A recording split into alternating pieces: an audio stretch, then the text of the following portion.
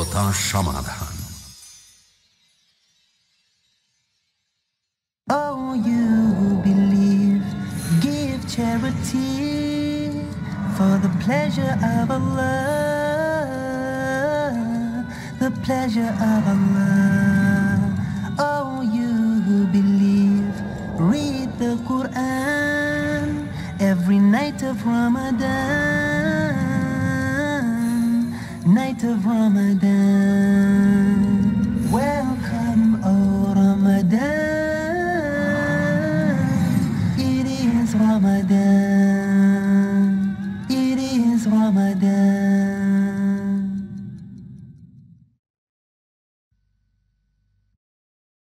প্রিয় মুসলিম এবং অমুসলিম ভাই ও বোনেরা আসসালামু আলাইকুম ওয়ারহমতুল্লাহি ওবারাকাতুহু আমাদের স্রষ্টা আল্লাহ তালার দয়া, শান্তি এবং রহমত আপনাদের সবার উপরে বর্ষিত হোক। আমাদের অনুষ্ঠানে স্বাগতম রমজান আর ডেট উইথ ডক্টর জাকির। আমি আপনাদের হোস্ট ইউসুফ চেম্বার্স। আর আজকে আমাদের এই অনুষ্ঠানে আলোচনার টপিক কিয়ামুল লায়েল অর্থাৎ রাতের নামাজ।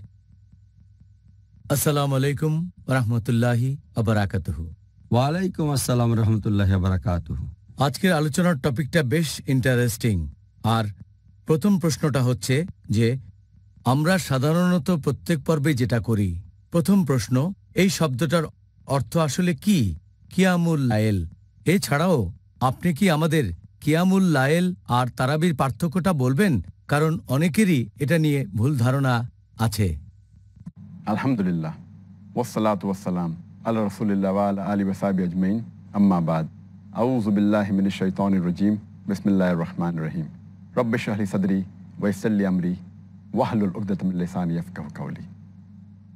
কেয়ামুল্লাহের মানে সম্পর্কে যদি বলতে হয়, এখানে দুটো শব্দ আছে। প্রথমটা হচ্ছে কিয়াম। কিয়াম মানে দাঁড়ানো। আর আল্লায়েল মানে হচ্ছে রাত। তাহলে শাব্দিকভাবে এর মানে রাতের বেলায় দাঁড়ানো। তবে শরিয়া অনুযায়ী ইসলামিক প্রেক্ষাপটে এর মানে হচ্ছে একটা ঐচ্ছিক নামাজ, যেটা পড়া হয় ঈশান নামাজের পর থেকে ভোর হওয়ার আগে পর্যন্ত। আর আমরা জানি যে ঈশার ওয়াক্ত শুরু হয় সূর্যাস্তের পর যখন আকাশের লালচে ভাবটা চলে যায়। আর আপনি পড়তে পারেন এই কিয়ামুল লায়েল ভোর হওয়ার মানে ফজর ওয়াক্তের আগে পর্যন্ত। এখন এই কিয়ামুল লায়েল নামটা দেওয়া হয়েছে। কারণ যখন কেউ এই নামাজ পড়ে, সে তখন কোরআনের বড় আয়াতগুলো পড়ে, দাঁড়িয়ে থাকে অনেকক্ষণ। সেজন্যই নামাজকে বলা হয় রাতের বেলায় দাঁড়ানো। এই নামাজে অনেকক্ষণ দাঁড়িয়ে থাকতে হয়।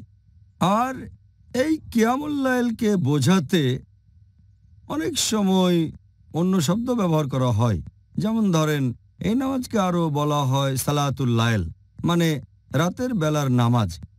এটাকে আরও বলা হয় তাহাজুদ এছাড়াও বলা হয় বিতর, আবার অনেক সময় তারাবি। সালাতুল্লাইল একটু আগে বলেছি, এর মানে রাতের বেলার নামাজ মানে বলা যায় রাতের বেলায় দাঁড়ানো। দাঁড়ানোটা নামাজের জন্যই। এর আরেকটা নাম হচ্ছে তাহাজুদ এটার মূল আরবি শব্দ হাজাদা। যার মানে জেগে ওঠা। একজন লোক ঘুম থেকে জেগে উঠে নামাজ পড়ল। এই নামাজকে তাহাজুদও বলে। এই নামাজের আরেকটা নাম বিতর বিতর মানে বেজোড়। আর আমাদের নবী সবসময় বলেছেন, তোমরা ঈশার নামাজ শেষে বেতরের নামাজ পড়বে বেজোড় রাখাতে এই নামাজের আরেকটা নাম হচ্ছে তারাবি। তারাবির মূল আরবি শব্দটা হচ্ছে রাহ, হা। এর অর্থ বিশ্রাম করা অথবা আরাম করা। আমাদের প্রিয় নবীর কয়েক জেনারেশন পরে যখন লোকজন কিয়ামুল লাইল আদায় করত, বিশেষ করে রমজান মাসে তারাবি শব্দটা দিয়ে আসলে রমজান মাসের কিয়ামুল লাইলকে বোঝানো হয়। যখন তারা রমজান মাসে কিয়ামুল লাইল আদায় করতেন, চার রাকাত পরে বিশ্রাম করতেন, তখন থেকে তারাবি শব্দটা রমজানের কিয়ামুল লাইলের সাথে জুড়ে গেল। তাই রমজানে নামাজটার নাম তারাবি। সাধারণত চার রাকাত পরে বিশ্রাম করতেন। এভাবে নামাজ পড়তেন, কারণ তারা অনেক সময় ধরে পড়তেন। এমনকি এখনও, যদিও লোকজন এখন অল্প সময় ধরে পড়ে, কয়েকটা আয়াত, তারপরও রমজান মাসে কিয়ামুল্লাহ এলে তারা বিশ্রাম নেয়, তাই এই নামাজকে বলা হয় তারাবি। তবে আমাদের নবীর সময়কালে তারাবি শব্দটা কখনো ব্যবহার করা হয়নি। রমজান মাসের কিয়ামুল্লাহলকে তখন এই নামে ডাকা হয়নি। সাহাবিগণও কখনো এই নাম বলেননি। এই শব্দটা এসেছে পরবর্তীতে। তাহলে এখানে সঠিক শব্দটা কিয়ামুল্লাহল তারাবি শব্দটা আসলে অতটা সঠিক নয়। শব্দটা পরবর্তীতে এসেছে। তবে কেউ যদি অনেক সময় ধরে নামাজ পড়ে থাকে রমজানের কিয়ামুল লাইল, সে তখন বিশ্রাম করতে চাইলে অবশ্যই বিশ্রাম করতে পারে, তবে বিশ্রাম আবশ্যিক না, তবে কোনো মানুষ ক্লান্ত হয়ে গেলে অবশ্যই বিশ্রাম নিতে পারে। তাহলে সঠিক শব্দটা হচ্ছে কিয়ামুল লাইল, শব্দটা তারাবি না ডক্টর জাকির, পরের প্রশ্নটা হলো, আপনি কি আমাদেরকে ইসলাম ধর্মে রাতের নামাজ বা কিয়ামুল লাইলের মাহাত্ম সম্পর্কে কিছু বলবেন? কিয়ামুল লাইল বা রাতের নামাজের মাহাত্মের কথা যদি বলতে হয়, এটা নিয়ে কোরআনের আয়াত আছে, অনেক সহি হাদিসও আছে, আমি এখানে কয়েকটা বলছি। আল্লাহ কোরআনে বলেছেন, সুরা সাজদা, অধ্যায় নম্বর বত্রিশ, আয়াত নম্বর ষোলো, এখানে সেই সব মানুষের কথা বলা হয়েছে যারা বেহেস্তে যাবে। আল্লাহ তাদের বর্ণনা দিয়েছেন, এই সব মানুষগুলো তাদের ঘুমের শয্যা ত্যাগ করে এবং তাদের প্রতিপালককে ডাকে আশায় এবং আশঙ্কায়। তার মানে তারা ঘুম ত্যাগ করে আর আল্লাহ তালার ইবাদত করে, আশা এবং ভয় নিয়ে তাকর সাথে। তারপর আছে, আমি যে রিজিক দিয়েছি সেখান থেকে তারা দান করে। এরা হবে বেহেস্তের বাসিন্দা। এরপর পবিত্র কোরআন পড়লে দেখবেন এটা সুরা জারিয়াত, অধ্যায় নম্বর একান্ন, আয়াত সতেরো আঠারো, যে এই লোকগুলো, তার মানে যারা বেহেস্তে যাবে ন্যায়নিষ্ঠ, তারা রাতের বেলায় সামান্য অংশ ঘুমায়।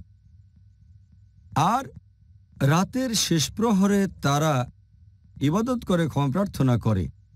এরপর আল্লাহ বলেছেন সুরা ফুরকান, অধ্যায় নম্বর পঁচিশ, আয়াত নম্বর চৌষট্টি। এই মানুষগুলো তারা, যারা রাত অতিবাহিত করে প্রতিপালকের ইবাদতে দাঁড়িয়ে এবং সিজদায় কিয়াম আর সুজুদে। কোরআনে আরও অনেক আয়াত আছে, এছাড়াও অনেক সহি হাদিসে রাতের এই নামাজের মাহাত্ম সম্পর্কে বলা হয়েছে। আমাদের প্রিয় নবী মোহাম্মদ সাল্লাহাম বলেছেন, এটা আছে সহি মুসলিম, খণ্ড নম্বর এক, বুক অব ফাস্টিং, হাদিস নম্বর দুই হাজার ছয়শো বারো। আমাদের নবী মোহাম্মদ সাল্লাহাম বলেছেন যে, সবচেয়ে সেরা নামাজ, আবশ্যিক নামাজের পরে, যে নামাজগুলো পড়া ফরজ সেগুলোর পরে, সেটা হচ্ছে রাতের নামাজ। আমাদের নবী মোহাম্মদ সাল্লাম আরও বলেছেন, এটা উল্লেখ আছে সহি বুখারিতে, খণ্ড নম্বর দুই, বুক অব তাহাজুদ হাদিস নাম্বার এক হাজার একশো একত্রিশ।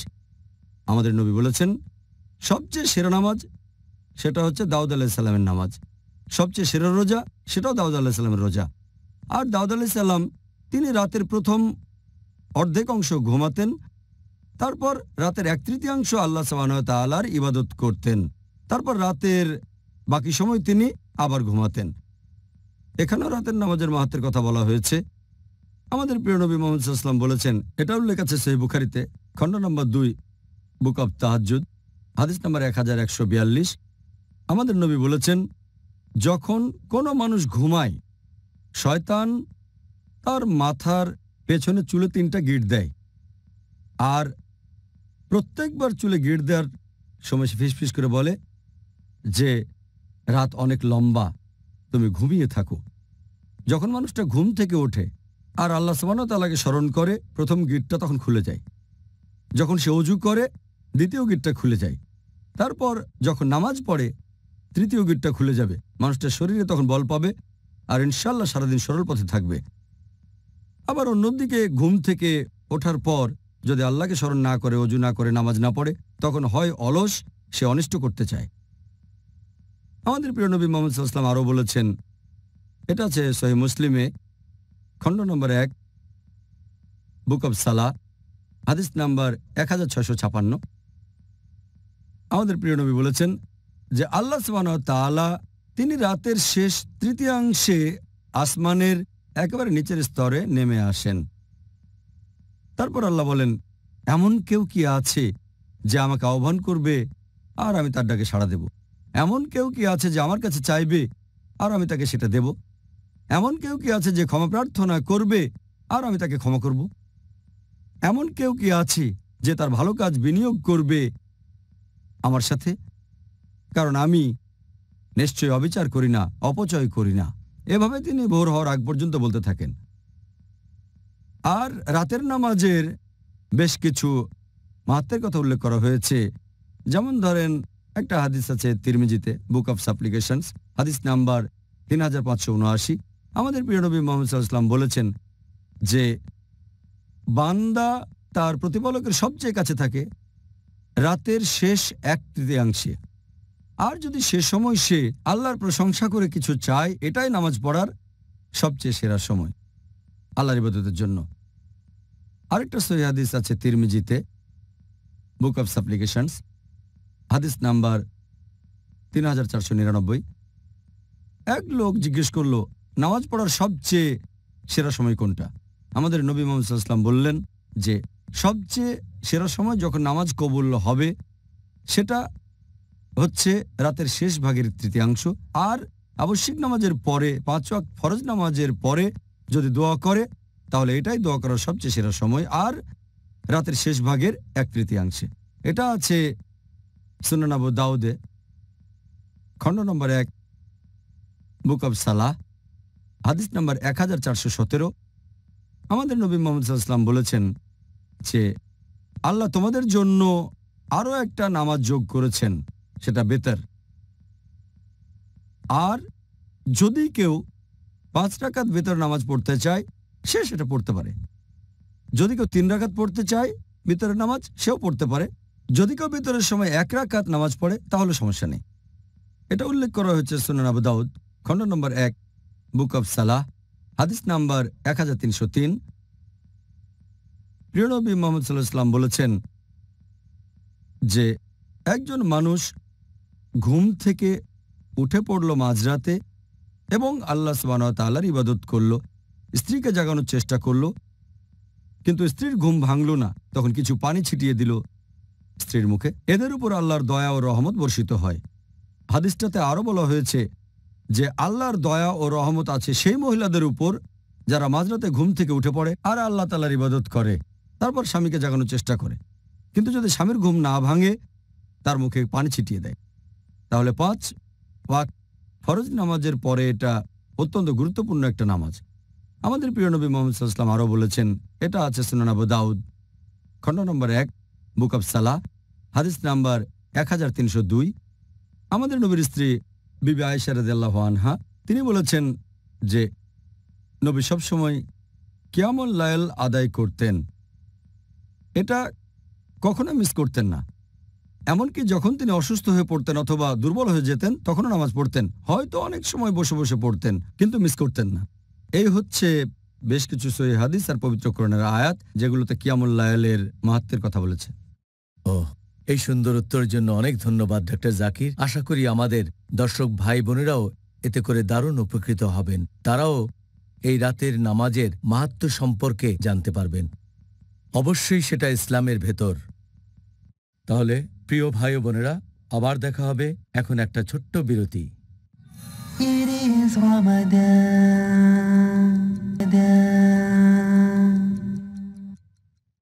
প্রিয় মুসলিম এবং অমুসলিম ভাই বোনেরা আসসালামু আলাইকুম। আবারও স্বাগত জানাচ্ছি Ramzan a date with doctor Zakir. আমি আপনাদের হোস্ট ইসুফ চেম্বার্স। আর আজকে আমাদের অনুষ্ঠানে আলোচনার টপিক কিয়ামুল লাইল রাতের নামাজ। আসসালাম আলাইকুম। ওয়ালাইকুম আসসালাম রহমতুল্লাহ বরকাত। এবারে আমি কিয়ামুল লাইল সম্পর্কে জানতে চাইব। পবিত্র রমজানের প্রেক্ষাপটে আপনি কি আমাদের এই রমজান মাসের কিয়ামুল লাইল সম্পর্কে কিছু বলবেন? কিয়ামাল্লায়েলের সুবিধা অথবা রহমত আর মাহাত্ম নিয়ে আগের প্রশ্নের উত্তরে আমি বলেছি এগুলো রমজানের সময়টা এলে আরও কয়েক গুণ বেড়ে যায়। রমজান হলো ক্ষমার মাস, এ ব্যাপারে আগেও বলেছি। এ সময় সব পাবেন আপনি কয়েক গুণ বেশি, দশ গুণ থেকে সাতশো গুণ পর্যন্ত। এমনি সময়ে যে মাহাত্মগুলো আছে, রমজানে সেটা কয়েক গুণ বেড়ে যায়। আমাদের প্রিয় নবী মোহাম্মদ বলেছেন, এটা আছে সহি বুখারিতে, খণ্ড নম্বর তিন, বুক অব ফাস্টিং, হাদিস নাম্বার দুই হাজার নয়, যে যদি কেউ রমজান মাসে রাতের নামাজ আদায় করে থাকে ইমানের সাথে আল্লাহর কাছে পুরস্কার আশা করে তার অতীতের সব গুণা ক্ষমা করা হবে।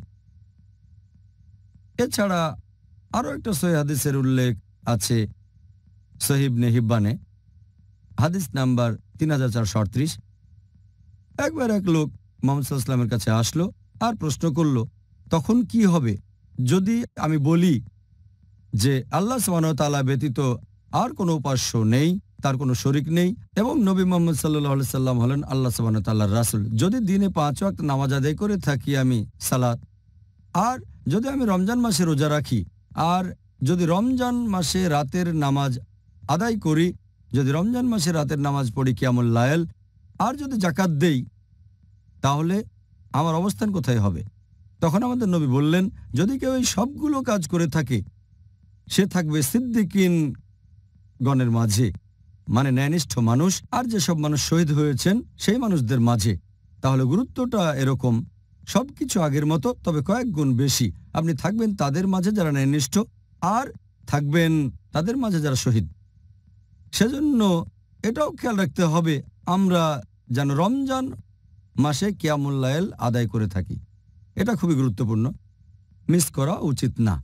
আর এছাড়াও আধ্যাত্মিক উপকারিতার পাশাপাশি যেগুলো আমি আগের উত্তরে আলোচনা করেছি, এখানে শারীরিক উপকারও আছে।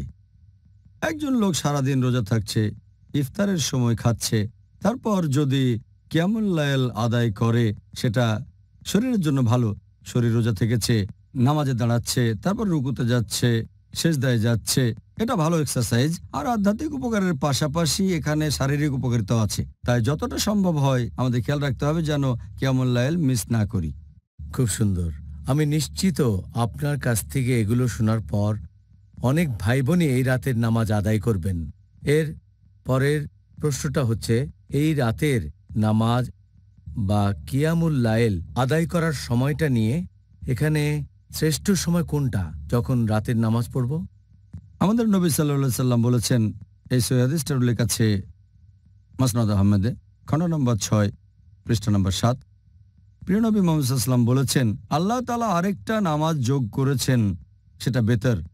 বেতরের নামাজ পড়ো, এশা আর ফজরের মাঝখানে। তার মানে ঈশার নামাজের ওয়াক সূর্যাস্তের পরে যখন আকাশের লালচে ভাবটা চলে যায়, তখন থেকে ঈশার ওয়াক তাহলে ঈশার নামাজের পর আপনি যে কোনো সময় এই নামাজ পড়তে পারেন ফজর ওয়াক্তের আগ পর্যন্ত। এই হচ্ছে কিয়ামুল লায়েল শুরু আর শেষ হওয়ার সময়। আমি আগেও বলেছি বেতর হলো এক ধরনের কিয়ামুল লায়েল আর আমাদের নবী মোহাম্মদ ইসলাম বলেছেন, এটার উল্লেখ আছে মুসান্নাফ আব্দুর রাজ্জাকে, হাদিস নাম্বার চার হাজার ছয়শো তেইশ। প্রিয় নবী মোহাম্মদ ইসলাম বলেছেন, যদি কেউ আশঙ্কা করে যে সে জাগতে পারবে না ঘুম থেকে তাহলে ভিতর পড়তে পারে অথবা কেমন লায়েল রাতে প্রথম ভাগের দিকে। তবে যদি জানে যে সে রাতে উঠতে পারবে, তাহলে রাতের বেলাতেই ঘুম থেকে উঠে নামাজটা পড়া ভালো। রাতের শেষ অংশে নামাজ আদায় করা বেশি ভালো, কারণ ফেরেস্তাগণ সেটার সাক্ষী থাকেন। এছাড়াও আরেকটা সহি হাদিসের কথা বলেছিলাম, যেটা আছে সহি মুসলিমে। খণ্ড নম্বর এক, হাদিস নাম্বার এক হাজার ছশো ছাপান্ন। এই হাদিসটা সহি বুখারিতেও আছে, তবে একটু অন্যভাবে। এটা মুত্তাফাক আলাই। হাদিসটা তাহলে আছে সহি বুখারিতেও। খণ্ড নম্বর দুই, বুক অব তাহাজুদ হাদিস নাম্বার এক হাজার একশো পঁয়তাল্লিশ।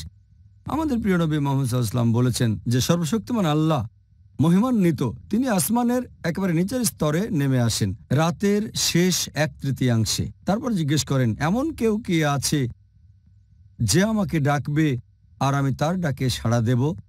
এমন কেউ কি আছে যে আমার কাছে কিছু চাইবে, আর আমি তাকে সেটা দেব? এমন কেউ কি আছে যে ক্ষমা প্রার্থনা করবে, আর আমি তাকে ক্ষমা করব? এটা মুত্তাফাক আলাই হাদিস।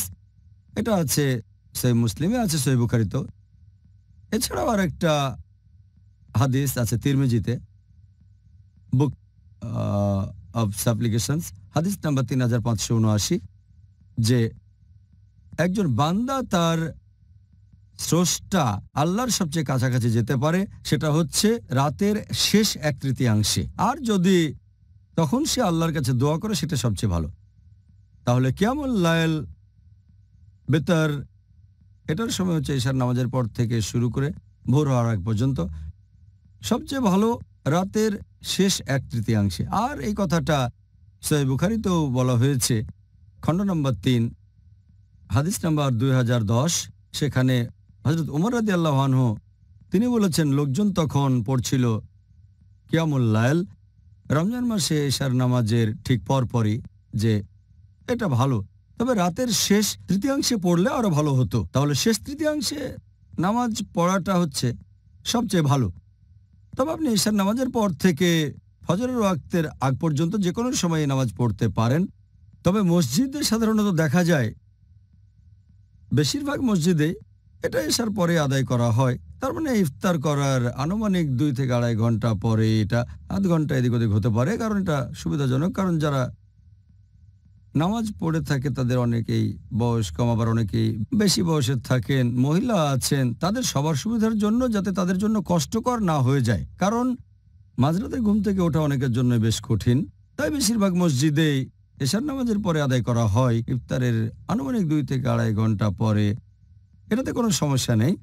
না পড়ার চেয়ে পড়াটা অনেক ভালো। না পড়ার চেয়ে আগে পড়া ভালো। তবে সবচেয়ে ভালো রাতের শেষ এক তৃতীয়াংশে। আর কিছু মসজিদে কিয়ামুল্লায়েল পড়ানো হয় রাতের শেষ তৃতীয়াংশে রমজান মাসে। সবচেয়ে ভালো। তবে বেশিরভাগ মসজিদে আগে পড়ানো হয় আর এতে কোনো সমস্যা নেই। আচ্ছা ভালো। এখন আমরা তো দুইটাই আদায় করতে পারি হ্যাঁ? আলহামদুলিল্লাহ। আল্লাহ সহজ করে দিয়েছেন আলহামদুলিল্লাহ। আল্লাহ যেন সারা মাস আদায় করার সামর্থ্য দেন। আপনার বলা সবগুলো উপকার যেন নিতে পারি এ ব্যাপারে আমরা পরে আরও বিস্তারিতভাবে আলোচনা করব ইনশাআল্লাহ। ডক্টর জাকির পরের প্রশ্নটা এটা হলো রাতের নামাজ বা কিয়ামুল লাইলের আদব কায়দা সম্পর্কে। আপনি কি এই রাতের নামাজের গুরুত্বপূর্ণ নিয়মকানুনের কথা আমাদের বলবেন? কিছু সহি হাদিসে এ ব্যাপারে নির্দেশনা আছে। একটা হাদিস যেটা শেখ আলবানির মতে সহি হাদিস, এই হাদিসটা আছে বাইহাক্কিতে। এখানে আছে যে, আমাদের নবী মোহাম্মদ সাল্লাহাম বলেছেন, যখন মাঝরাতে ঘুম থেকে উঠবে, তখন মেসওয়াক ব্যবহার করবে। তারপরে অজু করে নামাজ পড়বে, তাহলে মেসওয়াক ব্যবহার সুন্নত। এরপর একটা হাদিস আছে সহি বুখারিতে, খণ্ড নম্বর দুই, বুক অব তাহাজুদ হাদিস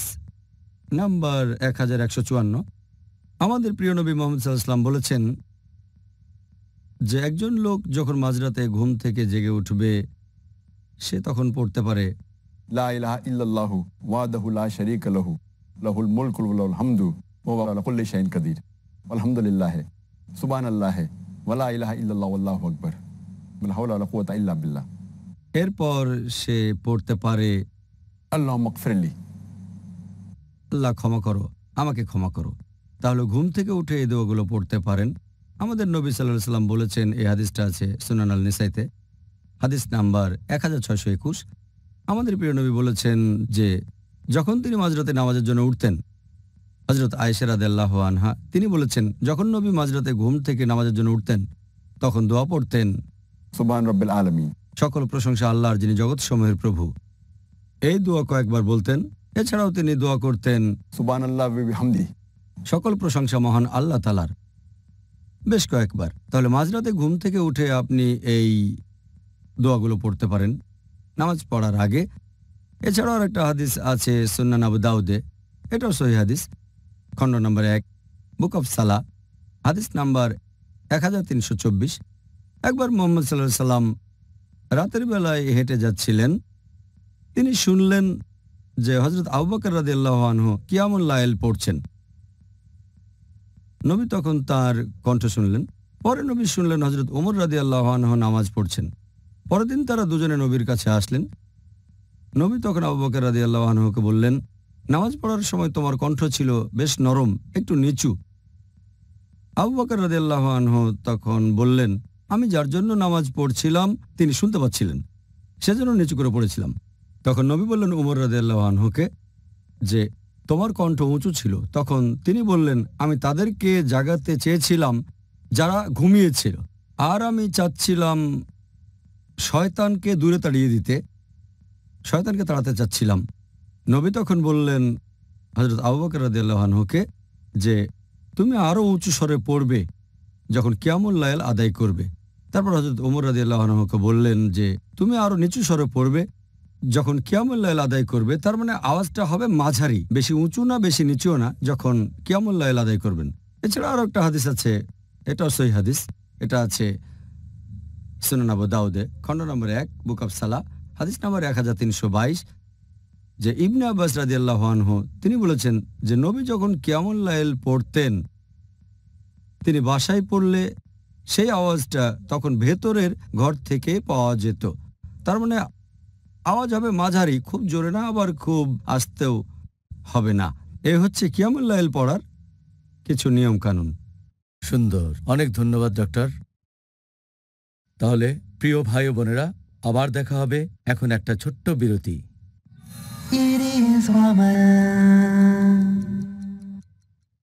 প্রিয় মুসলিম এবং অমুসলিম ভাই বোনেরা আসসালামু আলাইকুম। আবারও স্বাগত জানাচ্ছি Ramzan a date with doctor Zakir. আমি আপনাদের হোস্ট ইউসুফ চেম্বার্স।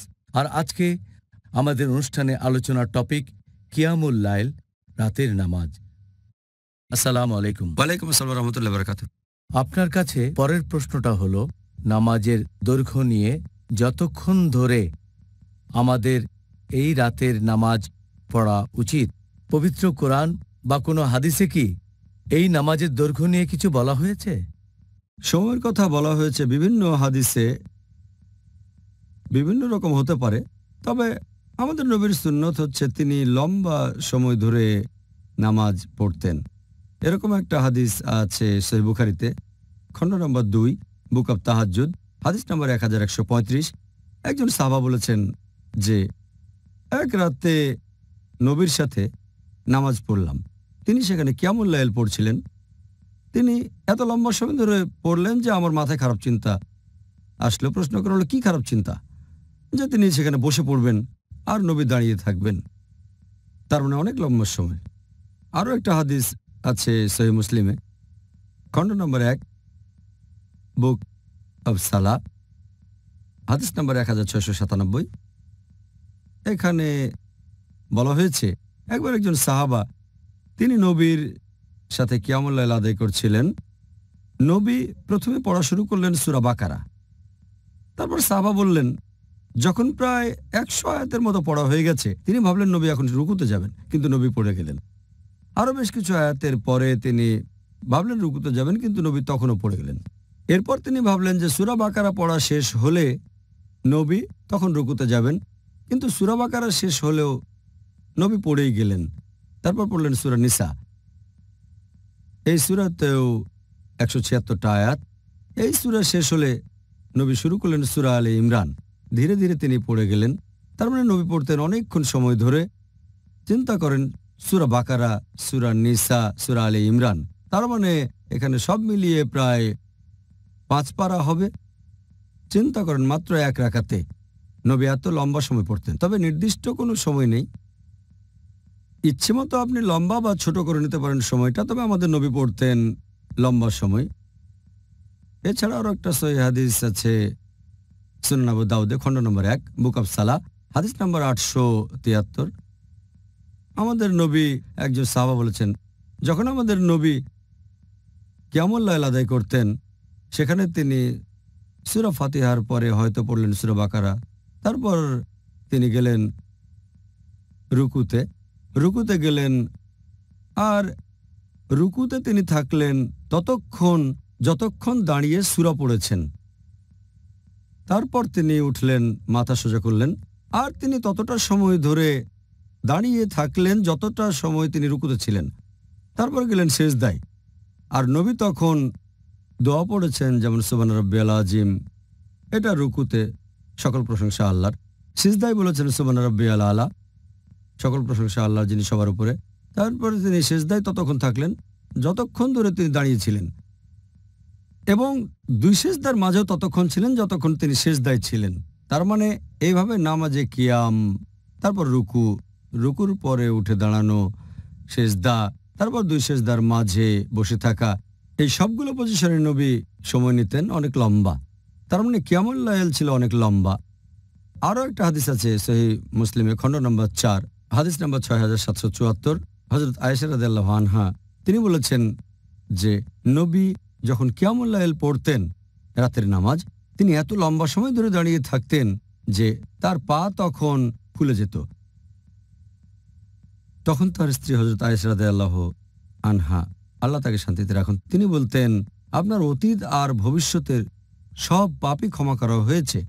তাহলে এত ক্ষমা প্রার্থনা করছেন কেন? এতক্ষণ ধরে নামাজ পড়ছেন কেন? নবী তখন বলতেন, আমার কি আল্লাহ তালার কাছে কৃতজ্ঞ থাকা উচিত না?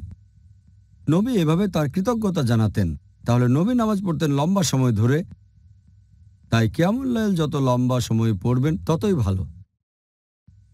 তাহলে আল্লাহ তাআলা যেন আমাদের সেই সামর্থ্য দেন, যাতে করে আমরা আমাদের নবী মোহাম্মদ সাল্লাহ আলাইসাল্লামের মতো করে পড়তে পারি। আলহামদুলিল্লাহ। ডক্টর জাকির, পবিত্র কোরআন আর হাদিস অনুযায়ী কোনটা ভালো? এই রাতের নামাজ বা কিয়ামুল লাইল একা একা পড়া নাকি জামাতের সাথে পড়া? কিছু হাদিস এ ব্যাপারে বলছে যে কিয়ামুল্লাইল পড়া যেতে পারে একা একা অথবা কোনো জামাতে দুটোর অনুমতি আছে। আর আমি যে রেফারেন্স দিয়েছি, বেশিরভাগ ক্ষেত্রে নবী সাথে পড়েন। আরও রেফারেন্স দিয়েছি যে সাহাবিগণ নবীর সাথে নামাজ আদায় করতেন। তবে যদি বলেন যে কোনটা বেশি ভালো? এ ব্যাপারে সহি বুখারির বেশ কিছু হাদিস বলছে, যদি জামাতে নামাজ পড়েন, তাহলে আপনি সাতাশ গুণ বেশি সওয়াব পাবেন। এরপর দুটো হাদিসের কথা আমি জানি। আর এছাড়াও যদি রমজান মাসের কিয়ামুল্লাহের কথা বলা হয়, একটা হাদিস আছে সহি বুখারিতে, খণ্ড নম্বর তিন, বুক অব তারাবি, হাদিস নাম্বার দুই হাজার বারো।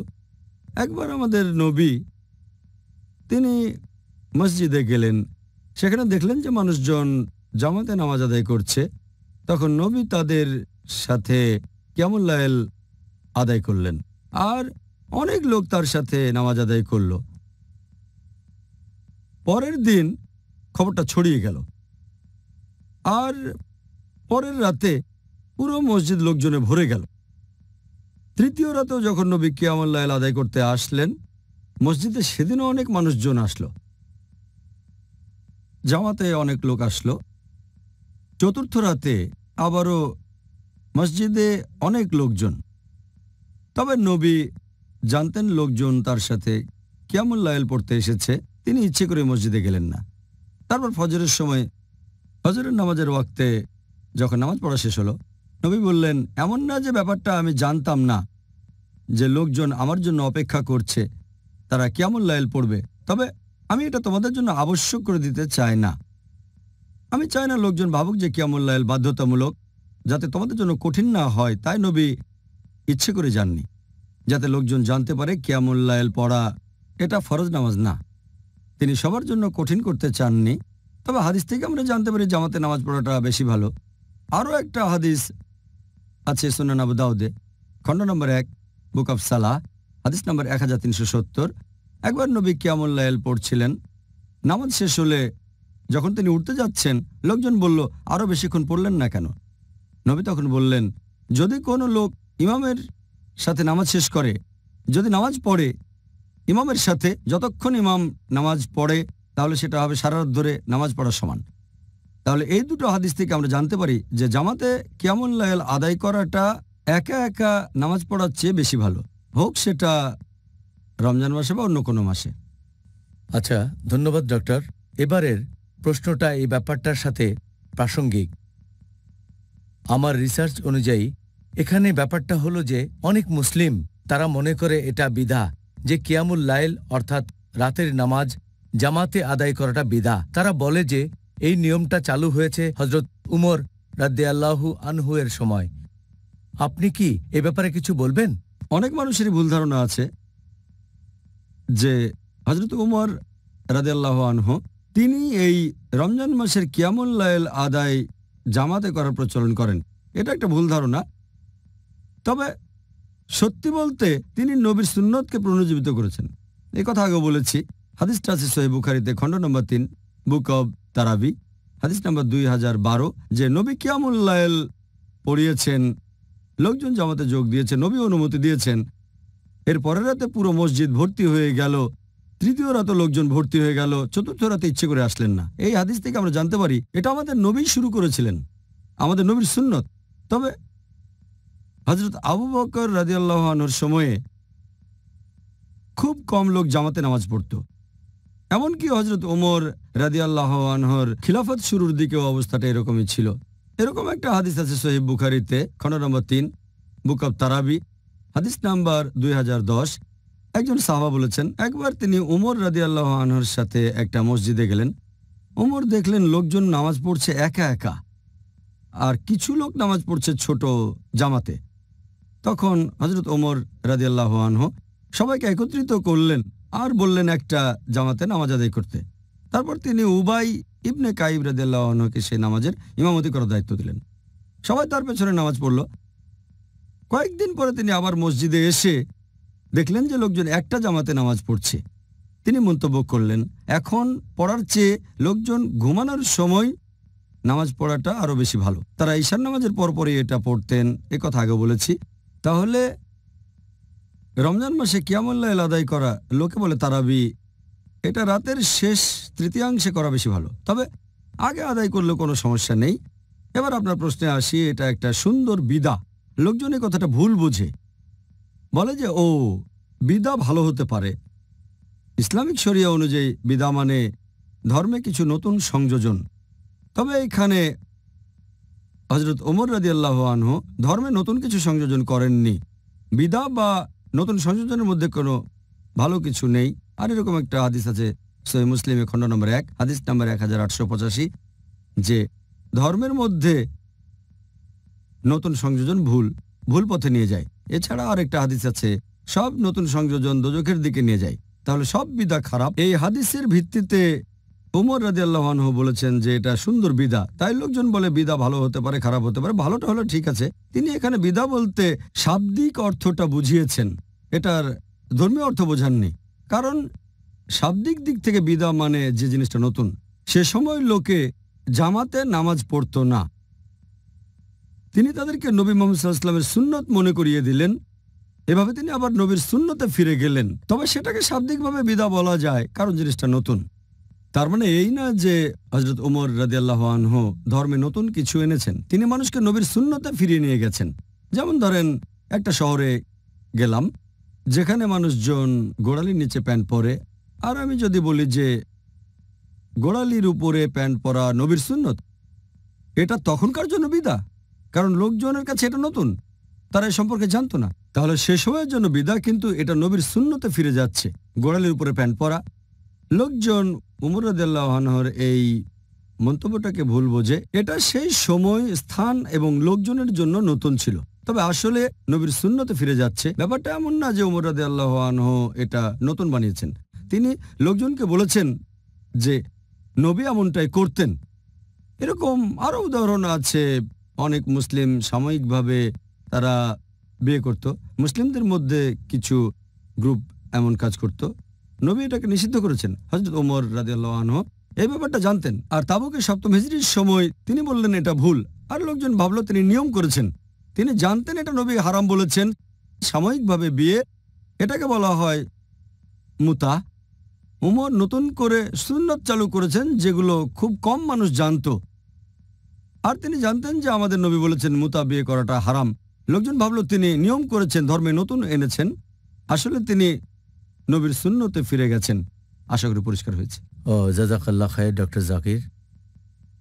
ডক্টর জাকির, এবারে আমি আপনাকে মুসলিমদের খুব কমন একটা মতবিরোধের ব্যাপার নিয়ে প্রশ্ন করব। এই পবিত্র রমজান মাসের সময় আমরা মুসলিমরা ঠিক কত রাকাত নামাজ আদায় করব তারাবিতে? বা কিয়ামুল লাইলে বা রাতের নামাজে। এটা কি আট রাকাত? নাকি বিশ রাকাত হবে? আমাদের নবী মোহাম্মদ সাল্লাহাম বলেছেন, এটা আছে সহি বুখারিতে, খণ্ড নম্বর এক, বুক অব সালা, হাদিস নম্বর চারশো বাহাত্তর। তিনি বলেছেন যে, এক লোক জিজ্ঞেস করল যে কিয়ামুল্লাহল কীভাবে পড়তে হবে?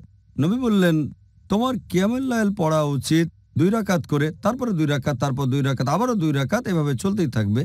আর যখন মনে হবে যে ভোর হয়ে যাচ্ছে, তখন এক রাকাত করে, তাহলে সব রাকাত হয়ে যাচ্ছে বেতার, তার মানে বেজোড়। আপনি যত খুশি পড়তে পারেন, শেষের দিকে পড়বেন এক রাকাত করে, তার মানে বেজোড়, তখন সবগুলো বেজোড় রাকাত। তাহলে নামাজের রাকাতের সংখ্যা নিয়ে যদি বলতে হয়, আপনি যত রাকাত খুশি পড়তে পারেন। তবে নবী মোহাম্মদ সাল্লাহ সাল্লামের নামাজ পড়া নিয়ে যদি বলতে হয়, এটার উল্লেখ আছে সহি বুখারিতে, খণ্ড নম্বর দুই, বুক অব তাহাজুদ হাদিস নাম্বার এক হাজার একশো সাতচল্লিশ। হজরত আয়সারদ আল্লাহ আনহা, তিনি বলেছেন যে, নবী যখন রমজান মাসে কিয়ামুল্লাহ আদায় করতেন, সবসময় এগারো রাকাত করে তিনি নামাজ পড়তেন। এগারো রাকাতের বেশি না। আর তিনি এটা অন্যান্য মাসেও করতেন। তাহলে প্রিয় ভাই বোনেরা, আবার দেখা হবে এখন একটা ছোট্ট বিরতি। It is Ramadan. প্রিয় মুসলিম এবং অমুসলিম ভাই বোনেরা আসসালামু আলাইকুম। আবারও স্বাগত জানাচ্ছি Ramzan a date with doctor Zakir. আমি আপনাদের হোস্ট ইসুফ চেম্বার্স। আর আজকে আমাদের অনুষ্ঠানে আলোচনার টপিক কিয়ামুল লাইল রাতের নামাজ। আসসালামু আলাইকুম। ওয়ালাইকুম আসসালাম রহমতুল্লাহ বরকাত ডক্টর জাকির এবারে আমি আপনাকে মুসলিমদের খুব কমন একটা মতবিরোধের ব্যাপার নিয়ে প্রশ্ন করব। এই পবিত্র রমজান মাসের সময় আমরা মুসলিমরা ঠিক কত রাকাত নামাজ আদায় করব তারাবিতে বা কিয়ামুল লাইলে বা রাতের নামাজে? এটা কি আট রাকাত নাকি বিশ রাকাত হবে? আমাদের নবী মোহাম্মদ সাল্লাহাম বলেছেন, এটা আছে সহি বুখারিতে, খণ্ড নম্বর এক, বুক অব সালা হাদিস নম্বর চারশো বাহাত্তর। তিনি বলেছেন যে, এক লোক জিজ্ঞেস করল যে কিয়ামুল্লাহল কীভাবে পড়তে হবে? নবী বললেন, তোমার কিয়ামুল্লাহল পড়া উচিত দুই রাকাত করে, তারপরে দুই রাকাত, তারপর দুই রাকাত, আবারও দুই রাকাত, এভাবে চলতেই থাকবে। আর যখন মনে হবে যে ভোর হয়ে যাচ্ছে, তখন এক রাকাত করে। তাহলে সব রাকাত হয়ে যাচ্ছে বেতার, তার মানে বেজোড়। আপনি যত খুশি পড়তে পারেন, শেষের দিকে পড়বেন এক রাকাত করে, তার মানে বেজোড়, তখন সবগুলো বেজোড় রাকাত। তাহলে নামাজের রাকাতের সংখ্যা নিয়ে যদি বলতে হয়, আপনি যত রাকাত খুশি পড়তে পারেন। তবে নবী মোহাম্মদ সাল্লাহ সাল্লামের নামাজ পড়া নিয়ে যদি বলতে হয়, এটার উল্লেখ আছে সহি বুখারিতে খণ্ড নম্বর দুই, বুক অব তাহাজুদ হাদিস নাম্বার এক হাজার একশো সাতচল্লিশ। হজরত আয়সারদ আল্লাহ আনহা, তিনি বলেছেন যে নবী যখন রমজান মাসে কিয়ামুল্লাহ আদায় করতেন, সবসময় এগারো রাকাত করে তিনি নামাজ পড়তেন। এগারো রাকাতের বেশি না, আর তিনি এটা অন্যান্য মাসেও করতেন। তার মানে আট রাকাত হচ্ছে কিয়ামুল্লাহ তারপর তিন রাকাত হচ্ছে বেতর এভাবে আট যোগ তিন সমান এগারো রাকাত। এছাড়াও আরও অনেক হাদিস এরকম কথা বলছে, আমরা যেসব হাদিস দেখতে পাই। আমাদের নবী সাল্লাহ ইসলাম হোক, সেটা সহি বুখারি, সহি মুসলিম, সবগুলোই বলছে নবী পড়তেন আট রাকাত বা এগারো রাকাত মানে আট যোগ তিন। এরপরে এই একই হাদিস, সহি বুখারি খণ্ড দুই, বুক অব তাহাজুদ হাদিস নাম্বার এক হাজার একশো সাতচল্লিশ হজরত আইসারাদ আনহা, তিনি বলেছেন যে নবী রমজান মাসে এগারো রাকাত করে পড়তেন আর অন্যান্য মাসেও। তিনি বলেছেন নবী পড়তেন চার রাকাত করে। আমি এই রাকাতগুলোর দৈর্ঘ্য আর সৌন্দর্যের বর্ণনা দিতে পারব না। তারপর আবারও পড়তেন চার রাকাত। এটার দৈর্ঘ্য আর সৌন্দর্যের বর্ণনা দিতে আমি পারব না। এরপর পড়তেন তিন রাকাত, তার মানে আট যোগ তিন। তবে যদি দেখেন বিভিন্ন প্র্যাকটিস সালফি সালেনের পরবর্তী প্রজন্ম, তার মানে সাহাবিগণ তাবাইন তবে তাবাইন রেকর্ড ঘাটলে দেখতে পাবেন তারা পড়তেন এগারো রাকাত, কেউ তেরো রাকাত, কেউ উনিশ রাকাত, কেউ তেইশ রাকাত, কেউ ছত্রিশ রাকাত, কেউ আবার উনচল্লিশ রাকাত পড়তেন। আর আপনি যদি পড়েন মুসান্নাফ ইবনে সাইবা খণ্ড নম্বর দুই, পৃষ্ঠা নম্বর একশো পঁয়ষট্টি, একশো ছেষট্টি, বলা হয়েছে যে তাবাইনগণ যখন রমজান মাসে কিয়ামুল্লায়াল পড়তেন, যেটাকে বলা হয় তারাবি, তারা পড়তেন বিশ রাকাত। কোনো কোনো জায়গায় আছে তারা পড়তেন ছত্রিশ রাকাত। এখন এই নামাজের রাকাতের কথা যদি বলতে হয়, নবী বলেছেন, তোমরা দুই রাকাত দুই রাকাত করে যত খুশি নামাজ পড়তে পারো, তারপর পড়বে এক রাকাত। আর আমি আগেও বলেছি সহি বুখারি, হাদিস নাম্বার চারশো বাহাত্তর, খণ্ড নম্বর এক, আপনি যত রাকাত খুশি নামাজ পড়তে পারেন, প্রথমে দুই রাকাত, পরের এক রাকাত। তবে আপনি যদি নবীর সুন্নত মেনে চলতে চান, নবী সবসময় পড়তেন আট রাকাত যোগ তিন। তাহলে কত রাকাতের অনুমতি আছে? আপনি যত খুশি পড়তে পারেন আট দশ বিশ ছত্রিশ সমস্যা নেই। তারপরে পড়বেন তিন রাকাত ভেতর। আর আমাদের নবী পড়তে আট যোগ তিন এগারো। তবে আপনি যত রাখাত খুশি নামাজ পড়তে পারেন। হ্যাঁ আপনি আমাদের বলেছেন যে কিয়ামুল লায়েলে আমরা মুসলিমরা যত রাকাত ইচ্ছা নামাজ আদায় করতে পারি তবে নবীর সুন্নত আট রাকাত। আপনি সেরকমই বলেছেন। হ্যাঁ নবী পড়তেন আট রাকাত। আলহামদুলিল্লাহ। তবে অনুমতি দিয়েছেন আপনি যত রাকাত খুশি পড়তে পারেন। হ্যাঁ ঠিক বলেছেন। তবে যত খুশি পড়তে পারেন সুন্নত আট রাকাত। যাই হোক, এখন ধরেন একজন লোক বা বেশ কয়েকজন লোক এক ঘন্টায় আট রাকাত নামাজ পড়ল আর অন্যদিকে আরও কয়েকজন তারা দেড় ঘন্টায় বিশ রাকাত নামাজ আদায় করল। এই দুইটার মধ্যে আপনি কোনটাকে বেশি ভালো বলবেন? আপনার এই প্রশ্নটার দুটো অংশ আছে।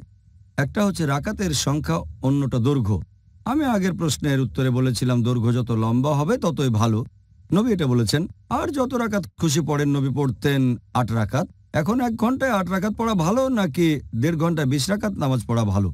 এই প্রশ্নের উত্তর দেওয়ার আগে একটা কথা বলি, যদি কোনো মানুষ সে নামাজ আদায় করল কোনো মসজিদে, যেখানে জামাতে আট রাকাত পড়ানো হয়, সে তখন অতিরিক্ত বারো রাকাত পড়ে সেটাকে বিশ রাকাত করবে না, যদিও তার মনে হয় বিশ রাকাতই বেশি ভালো। অথবা যদি কেউ আদায় করতে থাকে তারাবি মানে কিয়ামুল্লায়েল রমজান মাসে, তো নামাজ পড়ছে কোনো মসজিদে, যেখানে বিশ রাকাত পড়ানো হয় জামাতে, সে আট রাকাত পড়ে বেরিয়ে যাবে না সেখান থেকে। কারণ নবী বলেছেন, যদি কেউ ইমামের সাথে নামাজ শুরু করে শেষ করে ইমামের সাথে, তাহলে ধরে নেওয়া হবে সে নামাজ পড়েছে সারা রাত। তাই আমাদের ধৈর্যশীল হতে হবে। আমি এ ব্যাপারে একমত, নবী সব ধরনের অনুমতি দিয়েছেন। যদি কেউ বিশ রাকাত পড়তে চায় আর মসজিদে যদি আট রাকাত পড়ানো হয় জামাতে, তাহলে জামাতে আট রাকাত নামাজ পড়ে বাসায় চলে যান, তারপরে বাকি বারো রাকাত নামাজ পড়বেন। এবারে আপনার প্রশ্নের উত্তরে বলি, কোনটা বেশি ভালো, এক ঘন্টায় আট রাকাত নাকি দেড় ঘন্টায় বিশ রাকাত নামাজ? এখানে আমি যেটা বলতে পারি, আমাদের নবীর নির্দেশ সেটা হচ্ছে যত রাকাত খুশি আপনি নামাজ পড়তে পারেন, আর দৈর্ঘ্যটা যদি লম্বা হয় তাহলে ভালো। নবী লম্বা সময় ধরে পড়তেন আর আট রাখাত করে। যদি আমাকে জিজ্ঞেস করেন যে কোনটা ভালো, দুটোরই অনুমতি আছে, তবে এটা করলে বেশি ভালো হবে। যদি একই সময় ধরে পড়া হয় আট রাকাত নামাজ, একই সময়ে আট রাকাত নামাজ, সেটা হতে পারে দুই বা তিন ঘণ্টা, তাহলে যদি বলেন এক ঘন্টায় আট রাকাত ভালো নাকি বিশ রাকাত পড়া ভালো, আমি বলব এক ঘন্টায় আট রাকাতই ভালো। তবে এখানে আপনার প্রশ্ন ছিল, এক ঘন্টায় আট রাকাত নাকি দেড় ঘন্টায় বিশ রাকাত নামাজ? আমি বেছে নেব দেড় ঘন্টায় বিশ রাকাত নামাজ। কারণ নবীর নির্দেশ সময়টা লম্বা হলে ভালো সেটা মেনে চলছেন। এছাড়াও নবী বলছেন, যত রাকাত খুশি নামাজ পড়তে পারো। তাই আমি বলব, দেড় ঘণ্টা বিশ রাকাত নামাজ এক ঘণ্টা আট রাকাতের চেয়ে অনেক বেশি ভালো হবে। আর হারামাইন শরীফ এটাই দেখা যায়। বিশ রাকাত নামাজ পড়ানো হয়, তবে আনুমানিক দুই ঘণ্টা সময় ধরে। অনেক মসজিদে পড়ানো হয়, আট রাকাত সময়টাও বেশ কম থাকে। তবে দুই হারমাইন শরীফে মক্কা এবং মদিনায় মাসাল্লাহ লম্বা সময় ধরে পড়ানো হয়। আর হারমাইন শরীফে অনেক গুণ বেশি সব মসজিদে নবাবিতে পড়লে এক হাজার গুণ আর মক্কার মসজিদে হারামে এক লক্ষ গুণ। অবশ্যই। অনেক ধন্যবাদ ডক্টর জাকির। আপনি খুব সুন্দরভাবে এই প্রশ্নের উত্তর দিলেন। আশা করছি আজকে আমাদের দর্শক ভাই বোনেরা এই কিয়ামুল সম্পর্কে জানতে পেরে যথেষ্ট উপকারী হয়েছেন। মানে রাতের নামাজ এই পবিত্র রমজান মাসে আলহামদুলিল্লাহ। আর আশা করছি আমরা সবাই এই রাতের নামাজের সব উপকারগুলো নিতে পারব আর রমজান মাসে সেগুলো প্রয়োগ করতে পারব। ইনশাআল্লাহ। জাজাকাল্লাহ খায়ের। ভাই ও বোনেরা, আমি আশা করছি ইনশাআল্লাহ আজকের অনুষ্ঠান দেখে আপনারা উপকৃত হয়েছেন আর কিয়ামুল লাইল সম্পর্কেও অনেক কিছু জানতে পেরেছেন। আমি সবাইকে অনুরোধ করব, আপনারা যেন এই সিরিজ অনুষ্ঠানটা দেখেন রমজান। আর ডেট উইথ ডক্টর জাকির আগামীকাল আমাদের অনুষ্ঠানের আলোচনার টপিক কিয়ামুল লায়েল রাতের নামাজ পর্ব দুই তাহলে আবার দেখা হবে আগামীকাল একই সময় আসসালামু আলাইকুম ওরহমতুল্লাহি ওবরাকাতুহু حافظين ذاكرين قانتين خاشعين